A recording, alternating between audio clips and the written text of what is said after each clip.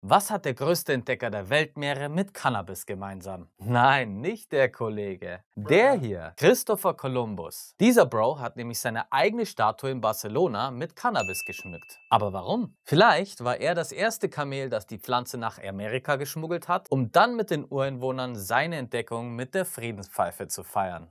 Oder liegt es vielleicht daran, dass Amerika ohne Hanf niemals erreicht hätte? Denn wenn immer von Cannabis die Rede ist, denken die meisten Menschen sofort an die ballernde Wirkung. Doch Cannabis kann verdammt nochmal mehr. Es ist nämlich eine der vielseitigsten Pflanzen der Welt. Und du glaubst nicht, für was Kolumbus die Pflanze nutzte. Denn Hanf war ursprünglich auch Material beim Schiffsbau, Hanfsamen als Nahrungsquelle für die Crew, Hanföl wurde für die Schiffslampen genutzt und diese Lampen ermöglichten es Kolumbus, abends in seinem Nachthemd, das ebenfalls aus Hanf bestand, aus dem Schiff zu pinkeln. Mit anderen Worten, ohne Hanf hätte Kolumbus nie die neue Welt entdecken können. Was dann auch die Frage klärt,